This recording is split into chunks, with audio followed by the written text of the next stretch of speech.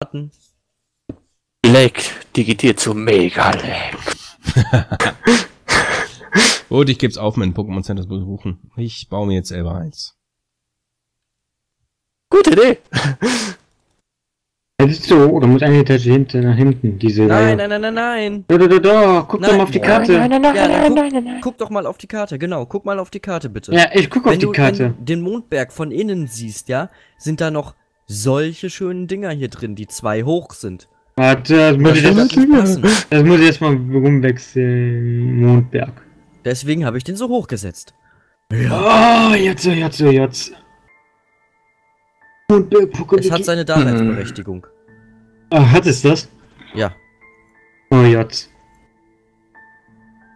Mir vielleicht jemand helfen? Nö. Wobei, etwas ausbauen, weil ich da noch etwas ranbauen muss am Berg. ah, willst Hä? du jetzt gerade dein, dein, dein, dein, dein, dein, dein Eins, genau. machen? Eins? Ach, da noch etwas an Ah. den Berg dran, weil das ist richtig. Nach welchem Plan gehst du jetzt? Nach Rot, Blau, Gelb, äh, Gold, Silber oder das K-Dingsbummens da? Kristall? Nach der französischen, der BG, HG oder SS? Französischen, das ist Feuer, Rot, Blatt, Grün, Hardgold, Soul, Silber, Kristall, Silber, Gold, Gelb, Blau, Rot. Ja, die erste hatte ich ja richtig, nur ab Frankreich, da... Ich nehme die da, Map, was mir da angezeigt gab es ein paar. Probleme. Von Na, innen, von innen gehe ich jetzt nach der F- FRBG. also nach der französischen... Nach der RBG? Nach der französischen. Ja, nach der französischen Version. Ja, ja, ja, du mich auch. Und deswegen brauche ich da drin ein wenig Platz. Mhm. Und deswegen ist es hier so hoch. Mhm. Aber das ist für dich zu hoch, ne? Ja. Geistig und mental und äh, Ja, körperlich und generell. überhaupt. Mathematik ist für mich zu hoch. Aber du hast doch einen Lieblingsastrophysiker, wie soll das gehen? Du musst doch mathematisch top drauf sein, du. Bin ich ja auch, nur grafisch bin ich und zeichnerisch bin ich, ist es mir zu hoch. Lame. Wie noch Latte. Bis einer weint. Genau, bis einer weint. Und der Bis erste, einer das, wird, das wird zuerst Mammut sein. Ich glaube nicht. Doch, weil keiner Ja, anfängt ich zu weinen, darum wirst du zuerst weinen. Bauschlampe, magst du mir helfen? Nein. Nein. Bin grad. Siehste? Siehste? Kackbohnen. Die Deutschland wird eh nur auf dem Mammut. Was ich auch sehr bemerkenswert finde. Nicht nur. Aber Bauschlampe, Aber die auch. ist wenigstens und man denkt mit, ne? Selten in den Tagen. Ja. Wenigstens einer ja, okay, jetzt ganz oben. Äh, Mit der Reihe bin Äh, Kuro, kannst du mal gucken, ob das so von der Größe reicht? Oder Mammut? Ja, Wenn du so rein beschäftigt. würdest. So. Soll er reingehen? Ich Ja, ja generell nicht in dunkle Höhlen. Du sollst in der, du sollst in der Hülle dein von der Geschäft Größe machen. Ja, ist okay. Geschäfte machen, äh, ja, in Höhlen, genau. Du Mhm. bist mir einer. Stell dir vor, er wäre zwei. Boah, da will ich mich umbringen. Kann ich Perfekt, ich verstehen. hab's geschafft. Errungenschaft freigeschalten. Du plopp. Durch das der alles kommentieren muss, was er macht, von wegen Errungenschaft freigeschalten. Plupp. Ja.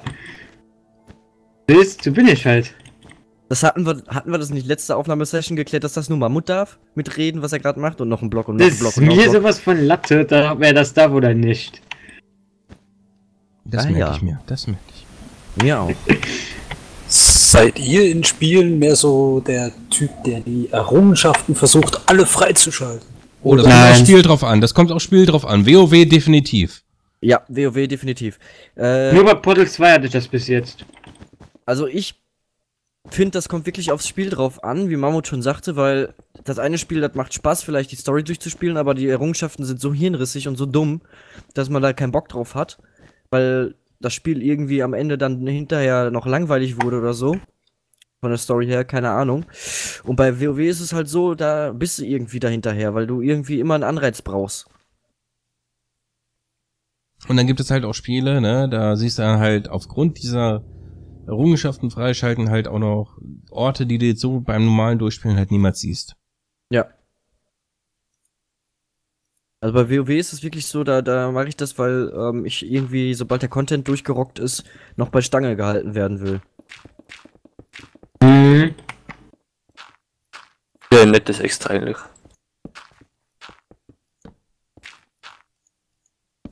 Aber jetzt hier so ein Spiel wie Minecraft äh, würde ich nicht äh, unbedingt versuchen wollen, die ganzen Ja. Achievements freizuschalten. Ich meine, das sind ja generell nicht so viele, ne? aber da werden auch nicht so viele hinzukommen. Aber selbst wenn, bin ich nicht unbedingt willig äh, dahinter, das alles. Und die sind auch nicht wirklich knifflig, weil wenn Nee. ich einen Erfolg jetzt haben will oder äh, ähm, freispielen will, dann sollte der ja schon ein bisschen knifflig sein. Weil dann kannst du wirklich sagen, boah, geil. Ja. Hast du so deine persönliche Bestätigung, dass du es geschafft hast und so, weißt Schlachte das Thema doch richtig aus. Warum? Red noch zwei Stunden lang über den Brei. Genau. Der nächste bitte, ähm, was dazu sagen. Danke. Machst du gut. Wie gesagt, Hab ich noch hatte, mal das, wie gesagt, ich hatte das bis jetzt noch mal Portal 2, wo ich auf dieser Hetzjagd war, da wirklich den Erfolg zu machen. Aber auch nur, weil Portal 2 mein Lieblingsspiel ist und das wirklich zu 100%, wirklich absolut 100% durchhaben möchte. Da gehört mir die Erfolge dann mit dazu. Aber bei anderen Spielen ist mir das eigentlich total Latte, da achte ich nur auf das Spielerlebnis, solange es mir Spaß macht, spielisch ist, nutzt mir das auf. Und Also ich was war kann dann, da- waren dann so Erfolge, die ihr am meisten oder wo ihr am meisten Zeit mit reingesteckt habt und so? Oh. Ähm, der schlimmste Erfolg bei Portal 2 war immer noch der mit dem in der Multiplayer-Kampagne, wo ich jemanden suchen musste und mit ihm nochmal den, diesen Trainings, diesen Crashkurs da durchmachen musste. Das war scheiße schwer zu machen. Weil ich da erstmal jemanden finden musste, der das, noch mal, der das noch nicht gespielt hatte. Mm. Also Mammut wird mir sicherlich zustimmen als ähm, pensionierter WoW-Spieler. Hallo, ich spiele immer noch WoW. ich weiß. Aber du wirst mir sicherlich zustimmen, wenn äh, ich sage, dass generell die ganzen Raid-Erfolge echt extrem knifflig sind. Äh, Bis auf allem- einige. Ja, aber viele sind da wirklich knifflig. Vor allem, Ja. wenn jetzt gerade der Content neu raus ist. Dann ja, aber wenn du jetzt hier so hinterhergehst nach Und- einem alten Raid jetzt mit, mit höheren Level oder sowas, dann sind die meisten halt äh, kein Ding. Und für andere wiederum, da ist halt aufgrund des höheren Levels äh, wiederum schwer zu erreichen. Ja, und ähm, bei mir war das wirklich so, was war da? Ich weiß nicht mehr, was das genau für ein Erfolg war. Ich glaube, das war, ähm, den, den habe ich ein Jahr lang machen müssen. Wie hieß das denn nochmal? Ähm, wo du den violetten Protodrachen bekommst. Eine lange, seltsame Reise, glaube ich, hieß der Erfolg. Ja, ja, damit du jedes, äh, Da musstest du jedes- WoW-Feiertag-Fest da mitgemacht hast. Ja, jedes Feiertagsfest, jeden Erfolg aus den Feiertagen Ich rausholen. hab's immer noch nicht. Und das habe ich ein Jahr, ein verdammtes Jahr lang habe ich für diesen Erfolg gebraucht und kriegte so einen schwulen violetten Protodrachen dann dafür. Und das war so der Erfolg, wo ich am längsten und auch ja, am meisten geflucht habe eigentlich. Weil ich jedes verdammte Event mitnehmen musste. Für mich sind am schlimmsten im WoW die PvP-Erfolge, weil ich halt kein PvP-Spieler bin. Ah ja, Dito.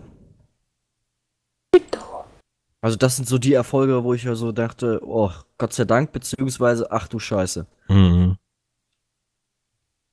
Ich weiß nicht, wie ist das denn bei euch noch so? Bei mir war das im Final Fantasy das Problem, ein Welches Final Monster Fantasy?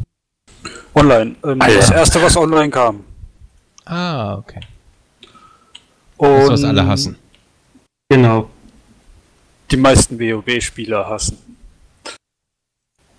Ähm, ich sag jetzt nix. ja, wie gesagt, äh, da war ein Erfolg. Da musste ich zwei oder 36 Stunden lang an Ort campen da hier, nur damit ich ein Bossmonster platt machen konnte. Oh Gott. Oh ja, so Camping-Erfolge sind auch immer scheiße. Der zeitverlorene Protodrache. Oh, hör mir auf, die Ja. habe ich bis heute nicht und ich campe Ich immer auch nicht. hinterher. Und dann, ne, wir waren einmal auf dem Weg nach Uldua.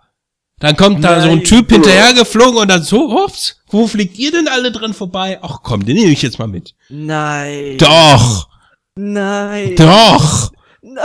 ja wirklich. Alter, da tut mir leid. Das ist ja echt Arsche hier. Mhm. Was? Aber beim zeitverlorenen Protodrachen fand ich das auch äh, wirklich so. Alter Schwede. Blizzard, willst du mich verarschen? Der teilt die Spawn Rate mit drei Ra Rare Mobs. Und äh, du musst jeweils fünf Stunden mindestens warten, bis einer äh, von denen mal spawnt. Und äh, boah, das war so ätzend. Mhm. Das Camping war so ätzend. Irgendwann habe ich es dann aufgegeben, dann wieder angefangen und irgendwann. Man hat es aber noch nicht zu Ende gebracht. nö. Wie denn auch? Ein, ein Guildmitglied hat das tatsächlich mal in seinem Urlaub geschafft, da musste er da zweieinhalb Tage durchcampen. Ach du Scheiße. Oh. Hat er Im geschafft. Urlaub. Im Urlaub. Das hätte ich Mhm. ehrlich gesagt nicht gemacht. Au. Also wenn ich Urlaub habe, genau, da könnten wir direkt mal dra äh, drauf schwenken. Wie ist das, wenn ihr im Urlaub seid? Ähm, Da muss ich arbeiten. Ja, das, Ich haben wir vorhin genauso. schon, das haben wir vorhin schon geklärt. Dass Ja. du deine, dass du, ähm, warte. warte also wenn, wir, was- wenn ihr Urlaub habt, nimmt ihr dann elektronische Geräte mit wie Laptop und so weiter und äh, Ja. ins Internet und alles? Ja. Äh, Ich das bin ist noch nie in meinem hier. Urlaub verreist. Ich genauso wenig. Wenn ihr verreisen würdet, würdet ihr denn dann was Ja, mitnehmen? ja, ja, ja. Ich würde meine Xbox einpacken und mein Laptop. Also ich habe immer mein Handy mein Handy dabei, so natürlich, und zum Handy. Navigieren und so. Fertig. Aber ich, wenn ich ehrlich bin, wenn Urlaub ist, ist Urlaub, dann nehme ich gar keinen PC, Laptop oder sowas mit, weil dann ist für mich ja Erholungsphase. Ich wäre irgendwie ohne Karte aufgeschmissen oder so. Ohne was? Ohne Karte wäre ich aufgeschmissen. Dann würde ich mich zehnmal verlaufen. Ja. Aber so Unterhaltungselektronik würde ich da gar nicht mitnehmen, weil wenn Urlaub ist, ist heißt Urlaub. Das Mhm. heißt, ich ja schalte ab. Vielleicht Naja, da fällt mir ein, ich bin nichts. ja im, ich bin ja in den Sommerferien ja jetzt, Sommerferien 2014 jetzt in Urlaub. Blöd ist es ja, wenn sie andere Steckdosen haben. Ja, da bin ich im Urlaub. Ja, sowieso, das sowieso. Ja, musst du so einen Frankreich scheiß oder Adapter so. kaufen. Musst du so Wobei einen mittler- scheiß Adapter kaufen. Wobei mittlerweile in Europa sind die alle genormt, ne? Nee, in England haben die immer noch so komische scheiß Dinge. Italien hat noch irgendwas. Ich rede von Europa, nicht von den Inselaffen. Leider gehören die mit zu Europa. Leider. Aber weiß. ich, ich hab Pe ich bin aber gerade dabei, eine Petition aufzus aufzusetzen, damit die von Inselaffen von Europa ausgeschlossen Am werden. besten auf einer Menschenrechtsseite, das kommt immer gut. Ja. Meine Menschenrechtsseite eine Petition unterschreiben lassen, damit die von Europa getrennt werden. Ja. Die, die Petition, dass Köln von Deutschland getrennt wird, ist leider nicht durchgekommen. Da. Gott sei Dank. Köln ist super. Köln ist kacke. Köln ist super. Ein vages Wort. Düsseldorf ist Köln- Kacke. Düsseldorf ist Beste und Köln ist Kacke. Also Ja, ja, Best, ja, also diese- jetzt Best in, von den beiden da. Immer diese ich. Fanboys. Alter, ich bin, ich bin gebürtiger Düsseldorfer, ich lebe in Düsseldorf, ich le wohne in Düsseldorf. Und ich Sogar jetzt gerade bin ich in Düsseldorf. Ja, Mammut mag Züge. Ja, Der Mama, Zug, der mal was selber von. Düsseldorf. Warte, Das wo ist der Zug? Wir brauchen, wir brauchen einen Zug. Tut, tut.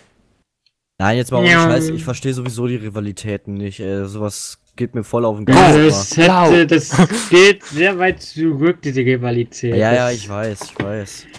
Ist Tradition sozusagen, aber Ja. Das Beste, ehrlich, ich verstehe es trotzdem nicht, weil wie kann man sich nur so Ja, ich in bin zwei halt- ich? Das ist bin genau wie Xbox versus Playstation. ja, aber ich bin in sowas halt reingeboren. Ich bin gebürtiger Düsseldorfer und Ja, ist wie you. ich bin halt so, Ja. ich bin halt mit diesen, äh, mit diesen, da, Köln, äh, als Kackeland so geboren und ich muss halt meinem, ich muss halt meiner Stadt treu sein, das bin ich auch und darum, ja, genau. Und darum stehe ich Genau. mit meinem Namen für TNT. Babybrei, dafür stehe ich mit meinem Namen. Genau. Jetzt kriegen wir wieder Geld, Mammut. Yeah, also ihr, äh, du. nee, Mammut und ich. Nee, Mammut hat für TNT geworben. Ja, siehst du. Kaufen Sie jetzt TNT. Oder ein bisschen C4. Jeder sollte ein bisschen C4 haben. Man weiß nie, wofür man es braucht. Doch, um Mammut, so, doch, um Mammut Müsstest du zu so- werden. Müsstest jetzt noch so einen Werbespot dafür machen. Mit so einer richtig schlechten eingesungenen Stimme. C4. Ja. Ja, äh, kann ich dich engagieren? Nein, ich kann nicht Hm. singen. Na gut, dann äh, wird das mit dem Werbespot nix. Übrigens, Tobinator LP, kennt ihn jemand von euch? Bestimmt. Ich, Ich habe schon gehört. Glaub aber nicht dran. Ähm, der hat zu seinem 50.000 Abonnenten-Special gesungen und das war so grausam. Oh Gott. Äh, wenn Vor wir allem- wirklich. Vor allem, er hat gesungen äh, My Heart Will Go On von Celine Dion Ja. und noch irgendwie, ähm, äh, Neil Diamond oder was? nee, irgendwas anderes. Ich weiß, ist auch sehr bekannt. Ich komme gerade nicht auf den Namen. Jetzt kommt's Barbara Streisand. Barbara Streisand. Als. Nee, ich weiß es nicht mehr. Irgendwas anderes, was sehr bekanntes, auch eine Frauenstimme war das, beziehungsweise eine Sängerin. Nein, Ich weiß Barbara nicht. ist, ja auch Streusand. nicht, ist ja auch nicht so wichtig. Mir jemand helfen. Was Jetzt hast du nicht denn für zu ein helfen. Problem? Äh, Mir wächst das alles über den Kopf irgendwie.